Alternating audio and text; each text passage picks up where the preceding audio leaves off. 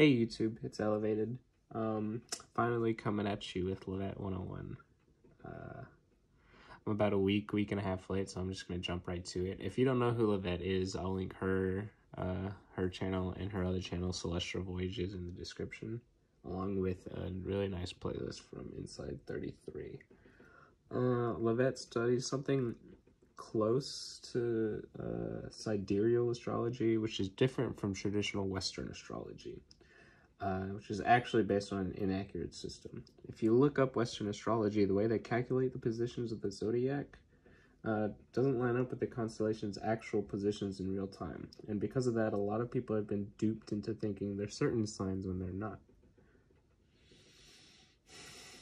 The way we calculate the dates that zodiacs land on, uh, they're probably about a month, or a half, sorry, about a half a month off, like maybe 15 to 20 days-ish so uh, half of you are still in the correct sign, whereas the other half of you think you're on a different sign, which really affects your understanding of astrology. Which is really not, um, if your basic understanding of astrology is like reading the newspaper, like the daily uh, horoscope or uh, horror horror scope, as Lavette likes to call it. It's really not like that. I think someone else said it. I can't remember who it was, but they said it pretty succinctly. Um, astrology is more like reading weather charts. It's going to be the basic meteorology of the flow of human collective unconscious. But it's not going to be like individually specific. Like your individual phase is not going to be written in the stars. And this isn't going to be like some pop psychology, MBTI, uh, personality type thing. It's more about like the Jungian psychology of like the archetypes and Joseph Campbell's understandings of the dynamics of like collective unconscious. All right, with that said, let's just jump right into it. Uh, we're going to start off by explaining the uh, symmetries of the zodiac wheel that you normally see. Um, and actually lined it up specifically with Aquarius and Capricorn at the top, and uh, you'll see why. It's, but it's to better lay out all of these symmetries. Normally you see it with Capricorn, uh, starting off, or maybe even Sagittarius, because they like to make Jupiter uh, the god of this age, god with a capital G, but uh, more on that later. Mm. So there's 12 zodiac signs, and each one is ruled by one of the seven of what we call moving stars. There's the sun and the moon, and then five of the visible planets, Mercury, Venus, Mars, Jupiter, and Saturn. So even though the sun is the only one which is an actual star, the planets, Mercury, Venus, Mars, Jupiter, and Saturn, they still reflected enough light to look like stars. And they all travel on this plane of our solar systems. Our, our solar system lies on a flat plane where all the orbits pretty much line up and go around. Whereas all the other stars in the night sky pretty much stay fixed. So when you're looking at it from Earth being in the center and watching all these other uh, moving stars, the sun and the moon and Mercury, Venus and all that go around, uh, because it's on that flat plane, they're always going to stay in line with these constellations. And these constellations are what make up the zodiac. Now each constellation is ruled by one of the seven moving stars. And actually, apart from the sun and the moon, who rule, um, who only rule one constellation, all the planets rule two constellations. So Saturn rules Aquarius and Capricorn, Jupiter rules Pisces and Sagittarius, Mars rules Aries and Scorpio, Venus, Taurus, and Libra, Mercury, Gemini, and Virgo. And that's why I laid it out like this, so you can see that.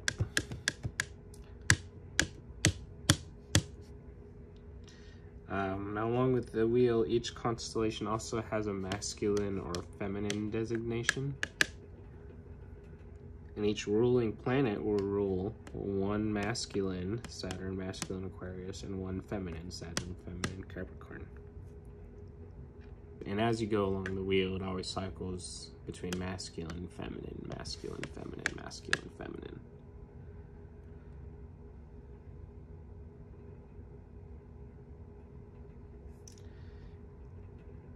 And then you have the four elements, of course, um, water, earth, air, and fire. And they actually go in this cycle. Air, earth, fire, water. Air, earth, fire, water. Air, earth, fire, water.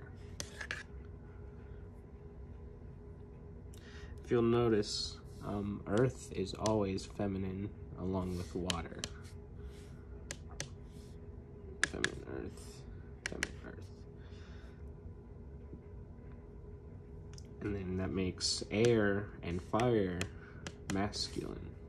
Masculine. Fire is always masculine, air is always masculine.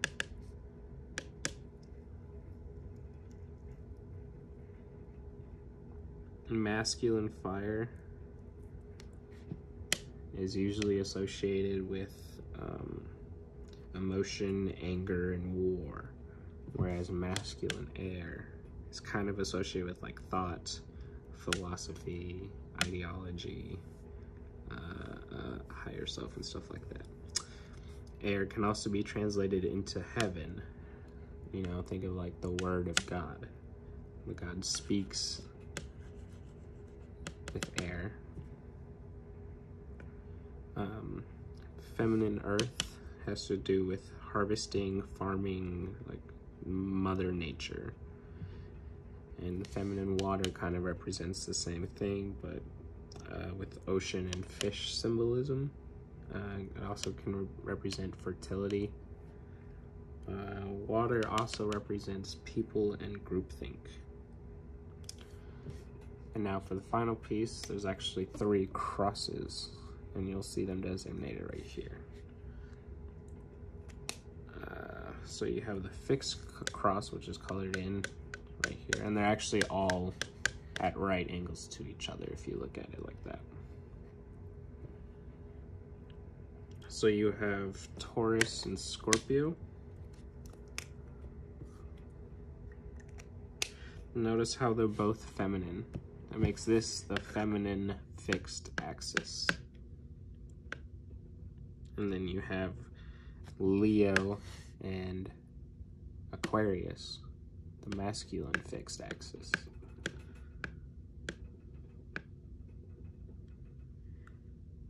Also, look at how the cross, the fixed cross has one of each element. Air, water, fire, earth. It's the same with the other two crosses as well. You have the mutable cross with um, feminine water Pisces, feminine earth Virgo, masculine fire Sagittarius, and masculine air Gemini.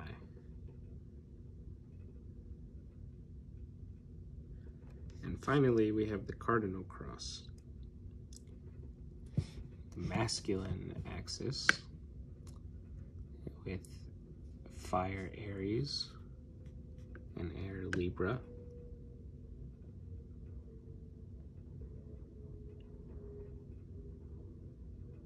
And the feminine axis with Earth Capricorn and Water Cancer.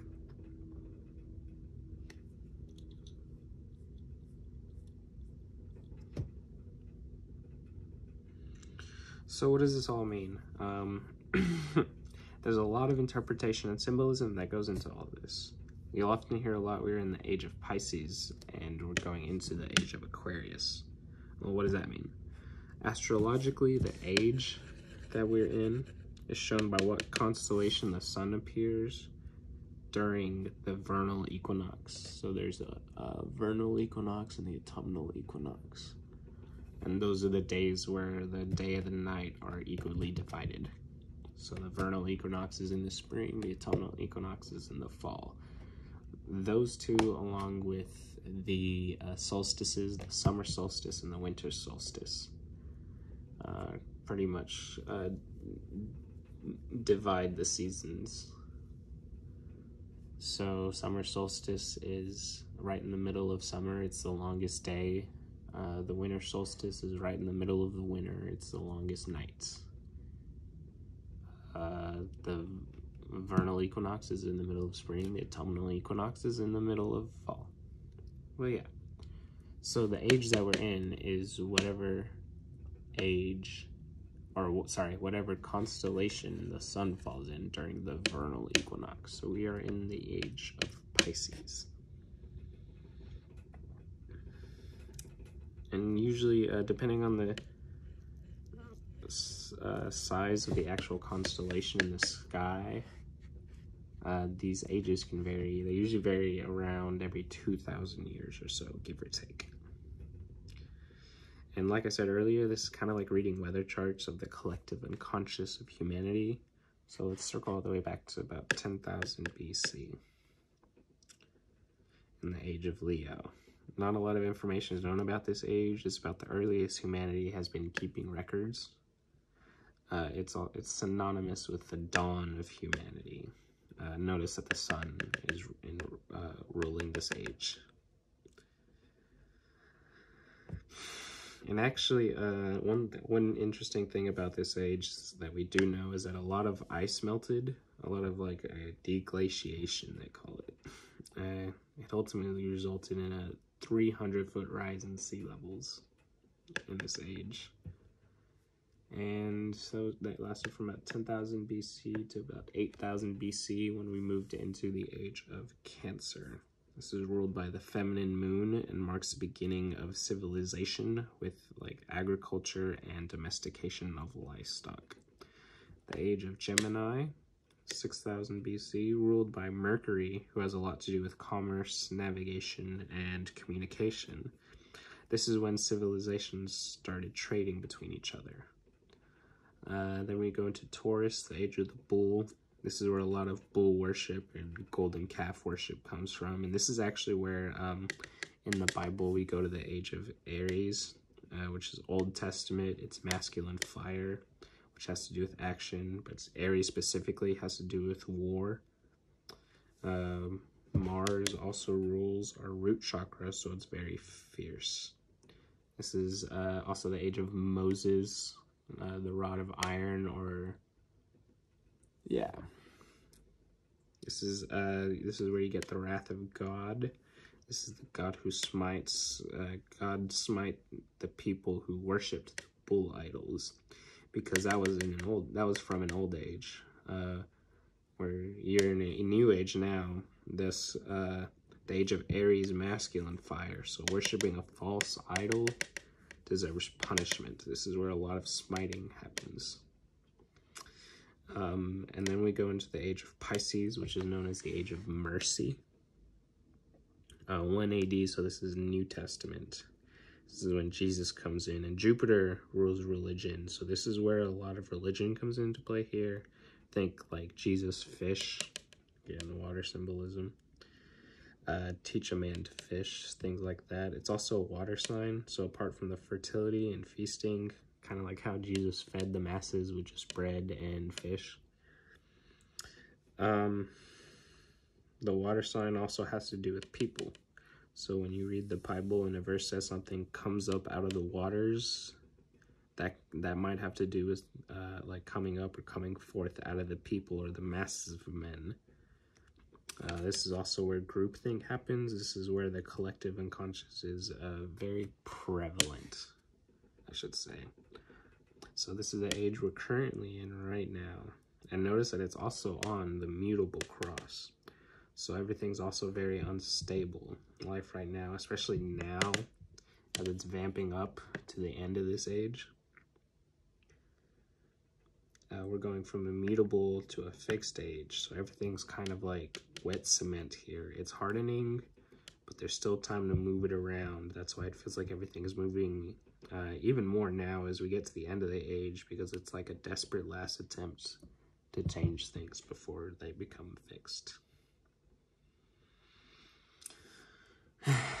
And leading with that, we're going to move right along to and get more in depth into the crosses.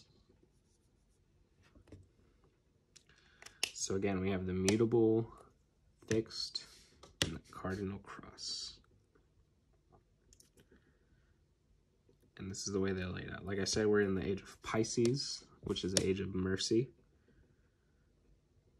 We're on the mutable cross, the adept. as opposed to like the master, the grandmaster.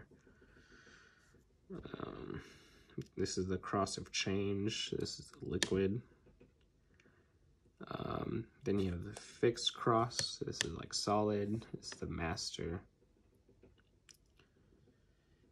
And finally, the cardinal cross, the grand master, the noble gas. Notice how these two have a top, a head.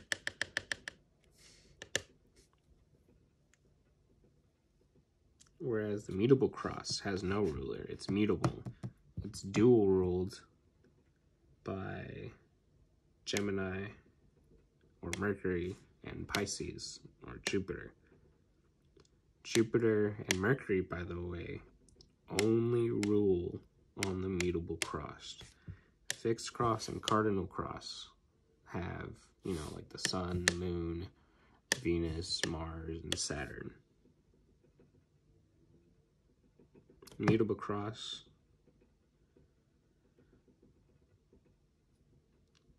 Um, another thing about it is because you get a lot of liquid change, uh, especially in, in the age of Pisces, Jupiter, because Jupiter also has to do with like lies and confusion.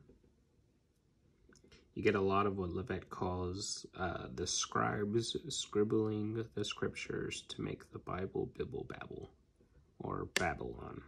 Uh, this is also where the Tower of Babel comes into play. and this is uh, reading the Bible, man. Uh, now I can I can stumble through Shakespeare. I like reading Oscar Wilde and like Arthur Conan Doyle and like old English isn't much ye ye oldie English isn't much of a problem for me. Um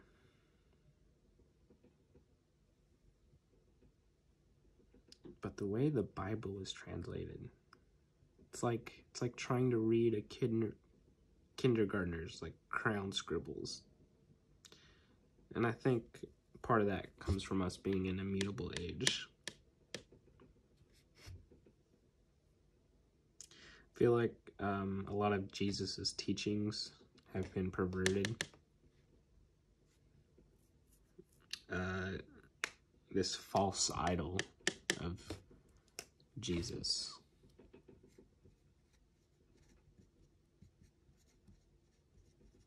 Jesus is also Theseus, son of Zeus, who is Jupiter, or Jew Peter. You know, the uh, this is the the Jesus who said you should renounce all your worldly possessions, but don't forget to celebrate my birthday with rampant consumerism. This is the Jesus who said murder is a sin unless you're fighting in war, right? and like in this age, like even uh even like overall teachings we hear about like all stories uh have been perverted like Cinderella who needs to be rescued by a charming prince. But when is the princess ever able to rescue herself? You know? Like, she couldn't have the uh, agency to get up and leave. Um,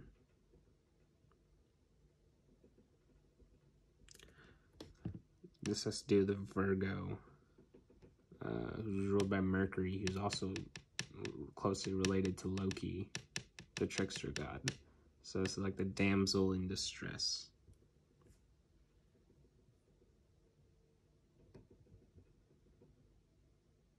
So you also have stories like Olive Oyl from Popeye. It's always played as uh, Popeye being the good guy and Brutus being the bad guy, but they're both like lower chakra, airy style, uh, rod of war men. And the virtue lies in Olive Oyl not being rescued by Popeye every time.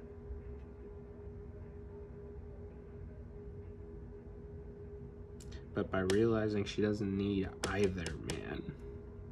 Like Jesus really said, salvation comes from within. But remember, Jupiter rules this age. Dual rules this cross with Mercury. And they're taking advantage of Aries, the root chakra, Mars.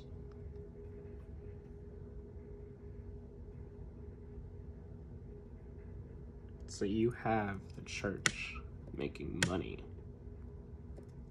off of war.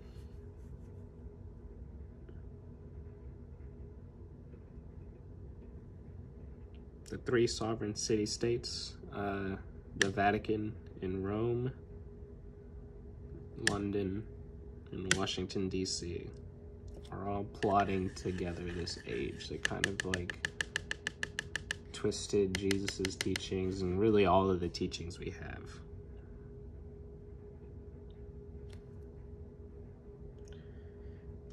Uh, another interesting to, thing to note is we're also in the age of Pisces, which is supposed to be feminine, but we're ruled under a patriarchy. Orange is the new black, remember? Uh, orange is made up of red and yellow. Red is air. I'll write that right here.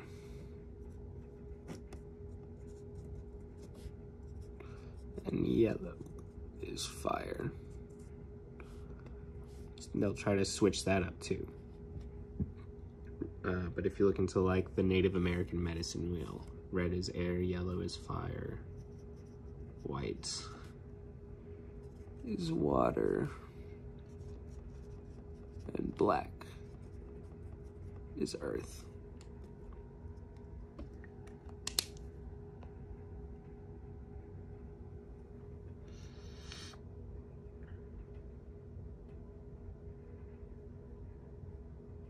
So yeah, orange is the new black. Again, Age of Pisces, feminine. Orange, masculine, is the new black, feminine.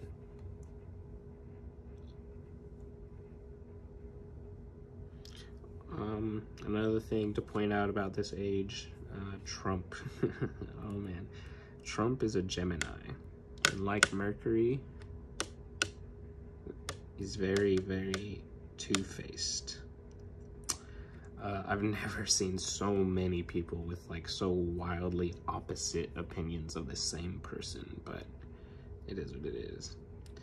Uh, I just I believe Trump is another distraction, like Douglas Adams wrote. Uh, the president is very much a figurehead. He wields no real power whatsoever. He's apparently chosen by the government, but the qualities he is required to display are not those of leadership, but those of finely judged outrage.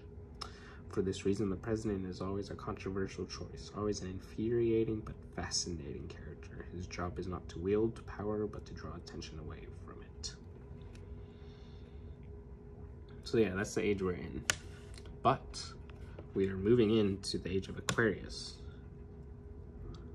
which is not only on the fixed cross, but he actually leads the fixed cross. It's also ruled by Saturn. Also, Notice how Saturn rules Capricorn and Aquarius. Saturn is the only planet to rule two consecutive ages. This is what Lavette calls the age with no end. Um, Saturn is also the only one to lead two out of the three crosses. Um, they try to confuse you and say like Saturn is Satan and Jupiter is God. When Jupiter is working with the trickster to fool you, to confuse you. God works in mysterious ways, but the devil is a cunning fucker. That's why you see many religions of today with conflicting morals. God, the supposed God of mercy, hates gays, stuff like that. Anyways, this fixed cross should look familiar. We have Scorpio, which everybody knows is Scorpion. So Scorpio is a scorpion. It's actually an Egyptian interpretation, uh, but in Persian, he's an eagle. Uh, Libra, uh, the scales, uh, Lib another um, symbol of Libra is also the snake, and I'll get more into that later. Leo, the lion is Babylonian. Cancer, the crab, in Egyptian, he's actually a scarab. Gemini, the twins, I think that one's a little bit ubiquitous. Taurus, the bull, but he can also be an ox. And Aries, the ram.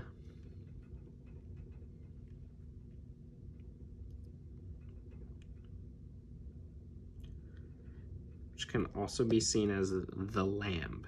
That's why there's a lot of lamb sacrifice in relation to Jesus, or the supposed Jesus, as the Lamb of God. Uh, so going back to the fixed cross, anyways, we have uh, the man, the lion, the eagle, and the ox. And you've probably seen this cross before. I know this one's more prevalent in pop culture than either of these two, really. You probably barely ever hear about these two, but this one you've definitely heard about. Specifically in the Bible, you have Ezekiel 110 uh, with the four creatures, each with four faces of the ox, eagle, lion, man, leading God's throne chariot.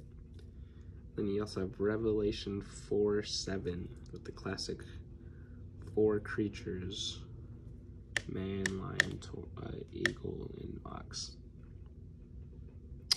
Uh, they, these creatures surround God's heavenly throne. The Bible also has four Gospels Matthew, Mark, Luke, and John, which all correspond to this cross. And there's always different interpretations as to who represents what one I commonly see is the eagle representing the Word of God, and Aquarius representing man. Even though Aquarius is an air sign or a heaven sign, remember air also means heaven.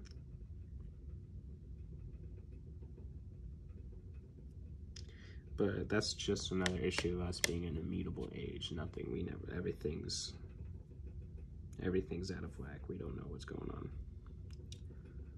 Okay, so Age of Aquarius is ruled by Saturn. So we're going from the Age of Mercy. We have this age, the age of the law of equivalent exchange, the law of karma. You reap what you sow. And then we flow into the age of Capricorn, the Grandmaster. Cardinal cross. Capri means apex, like a caprice, and corn, like cornucopia, means horn. So Capricorn is the most high horn. This is like bringing heaven on earth. That's how these two work together.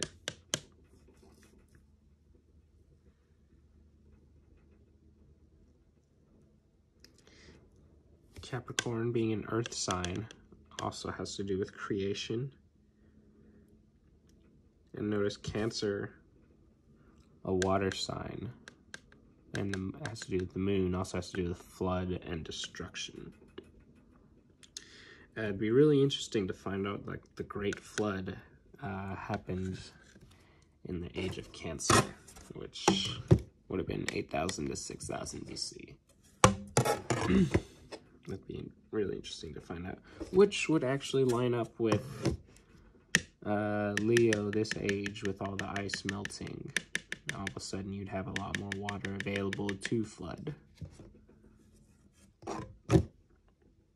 Mm, but that's all speculative. Again, Age of Pisces, Mutable Cross, we don't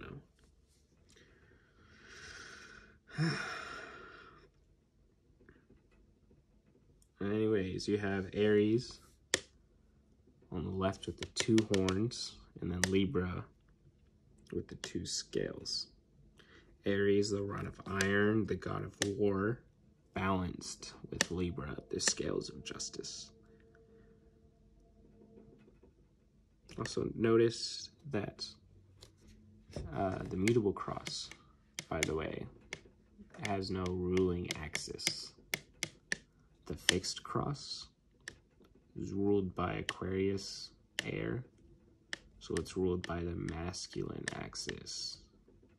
Air, masculine, fire, masculine. This is their feminine axis. This is their feminine axis. The age of Capricorn, this one is ruled by the feminine axis. Capricorn sits at the top.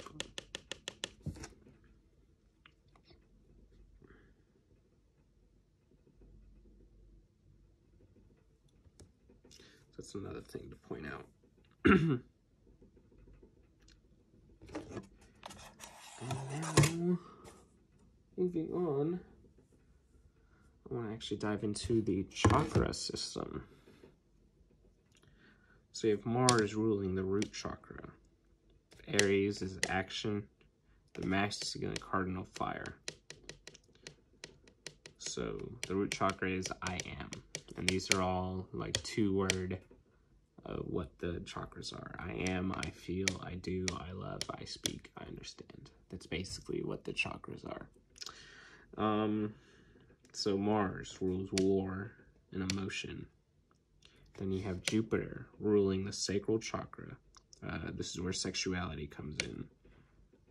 Uh, which I guess would be Sagittarius. Sexuality. And then religion would be like Pisces. With this one, Aries would be war, Scorpio would be emotion. But yeah, Jupiter, sacral chakra. It's like sexual, I feel.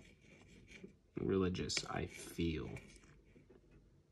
A lot of times I try to place Jupiter at the top. Remember, they're trying to make Jupiter the, the god, capital G, because Jupiter also rules religion as well. But that doesn't work, and you'll see why. Uh, then you have the sun and the moon dual ruling the solar plexus chakra. So each chakra is ruled by two uh, zodiac signs. Ruled by one planet except for the solar plexus. The solar plexus is dual ruled by the sun and the moon because each of these only rule one constellation.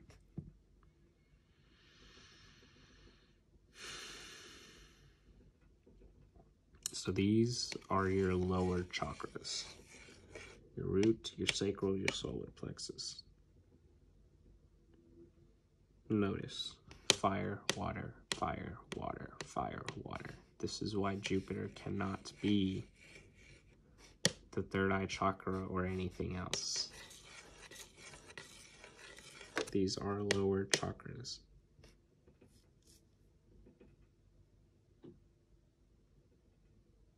Then you have three higher chakras, earth and air, earth and air, earth and air. And the seventh chakra that you normally hear about, it's not a chakra actually. It's only activated when you activate all of these, kind of like a reverse prism. A white light will only appear if you have all, all of the colors come in before it. So, Venus obviously rules the heart chakra uh, which is I love, kind of self-explanatory. I love or I will. Taurus is a very I will type. One, two. Uh, Mercury. Uh, remember, Mercury has to do with communication. Uh, so it rules the throat chakra. I speak. And Saturn rules the third eye. The chakra of understanding. Saturn, interesting enough, also known as Kronos, represents time. And there's an interesting notion I found on YouTube about, um, man, say what you want about the quality of YouTube comments or internet comments in general. You can find some real gold if you just look. Anyways, uh, this guy named Steven Schmidt wrote on what I think is a video from the channel of Academy Ideas. Uh, another great channel, link in the description. Anyways, he looks at the seven deadly sins and their corresponding virtues and says, the sins are all as you would describe binary, i.e. stimulus and response. They all come naturally without consciousness. Conversely, the virtues would all be considered three-step, or requiring thought that is outside of time. So, lust versus chastity, gluttony versus temperance, greed versus charity, sloth versus diligence, wrath versus patience, envy versus gratitude, and pride versus humility. So this isn't really from Lavette's teachings. Um, this is more of my own understandings. Uh, I just try to relate them to the planets and chakras. And as you can see, some of them might have multiple relations. So wrath could have been very well been like a Mars root chakra. um, like greed was very hard between like Mercury, Venus, and Mars. And so like you, there's ways that these all work together. Um, another thing, like I said earlier, Jupiter, Mars, and Mercury are all working together. There's a lot of symbol uh, symbolism of serpents. Obviously, you have the evil one in the Garden of Eden. but you also have like the snake of uh, Moses' staff or Merlin's staff. One of those, you have the snake of medicine. You also have the snake coming out of the third eye on the Egyptian pharaohs and like the Kundalini snakes. The snake, which generally represents knowledge or wisdom, as duality, just like a lot of other things in this world. The bad Kundalini snake tells you to activate your chakra system or to open your third eye by starting at the root. But that only keeps you bound to the lower chakras. Jesus said, I am the way. No one gets to the Father except through me. And how do you do that? By accepting Jesus in your heart. By allowing Jesus into your hearts through the heart chakra. That's the real way to open up the third eye, not the kundalini start from the root way. Uh, Jesus also said there will be a time when you no longer need the sun and the moon, for I am with you. And that actually goes back to this.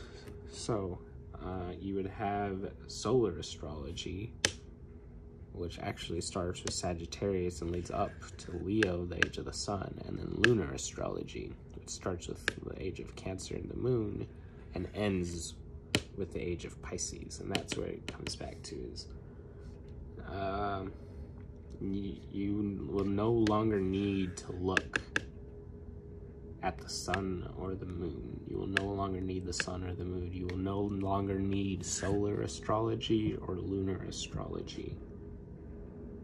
You won't need any of it because I am with you. Saturn will be ruling this age. God will be present. Um, so yeah. Okay, so now you want to do some astrology. Uh, you want to find out your birth sign and your moon sign and what your planets are. Well, how do you do that? Uh, don't trust most internet astrology sites. Uh, they're probably going to give you the Western astrology. Use Stellarium or another astrology app or astronomy app and start by entering your birth date, time, and location.